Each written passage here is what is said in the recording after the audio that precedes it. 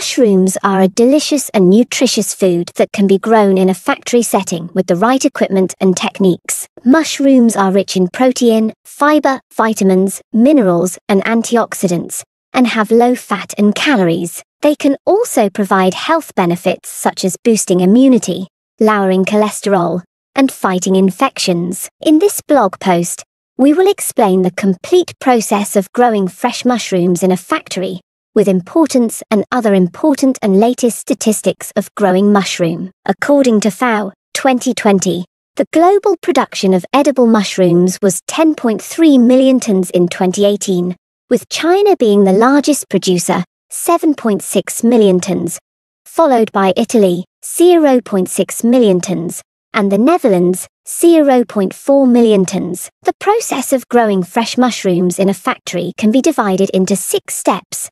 Phase I composting, Phase 2 composting, spawning, casing, pinning, and cropping. These steps are described below in detail. Phase I composting.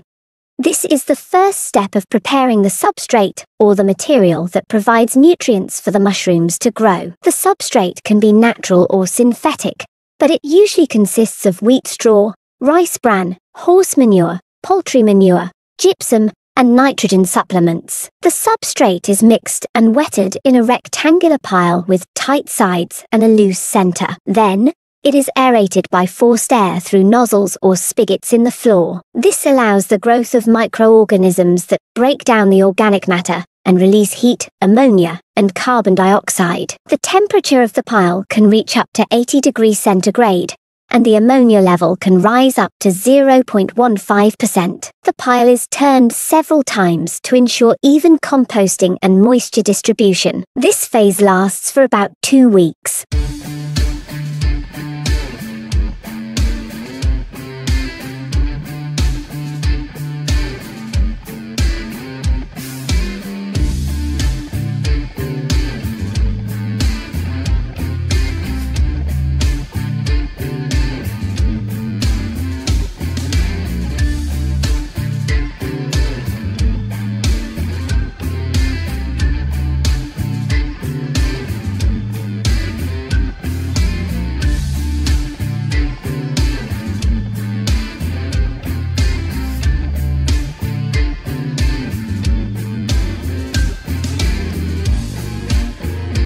2 Composting.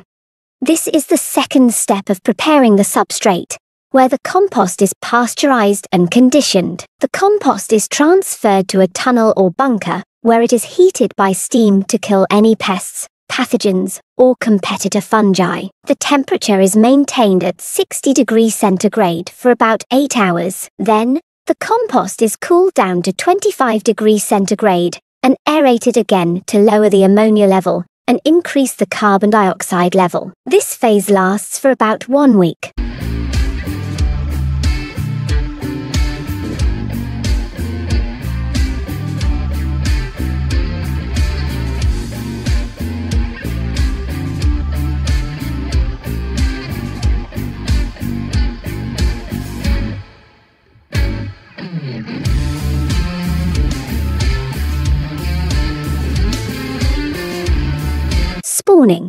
This is the third step of inoculating the substrate with mushroom spawn or seed. Mushroom spawn is made by growing mushroom mycelium, the vegetative part of the fungus, on sterilized grain such as rye or millet. The spawn is mixed with the compost in a ratio of 110 to 120 by weight. The mixture is then filled into trays or bags and placed in a dark room with a temperature of 20 to 28 degrees centigrade and a relative humidity of 80 to 90%. The mycelium grows and colonizes the compost in about two weeks.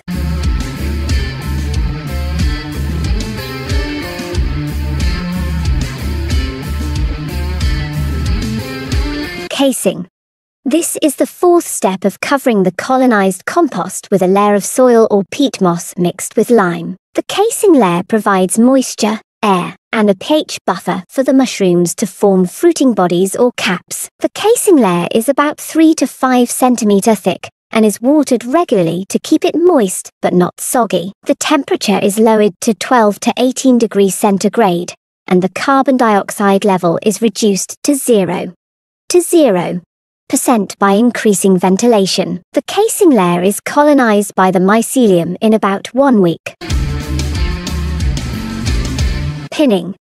This is the fifth step of inducing mushroom formation by exposing the colonized casing layer to light and fresh air. The light can be natural or artificial, but it should have a wavelength of 450 to 700 nanometer and an intensity of 500 to 1000 lux. The light cycle can be 8 to 12 hours per day. The fresh air exchange can be 4 to 8 times per hour. These conditions trigger the formation of tiny mushroom primordia or pins on the surface of the casing layer. The pins grow into mature mushrooms in about one week.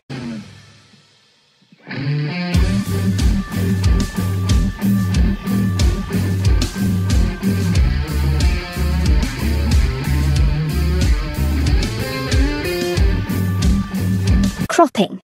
This is the final step of harvesting the mushrooms by hand or by machine. The mushrooms are picked when they reach their desired size and shape, usually before their caps open fully. The mushrooms are then sorted, graded, packaged, and stored or shipped to markets or consumers. The cropping cycle can last for about three weeks, with several flushes or harvests per cycle. The importance of growing fresh mushrooms in a factory is that it can provide a consistent supply of high quality mushrooms throughout the year regardless of weather conditions. It can also reduce production costs by optimizing resource use and minimizing waste generation. It can also increase production efficiency by using advanced technology and automation.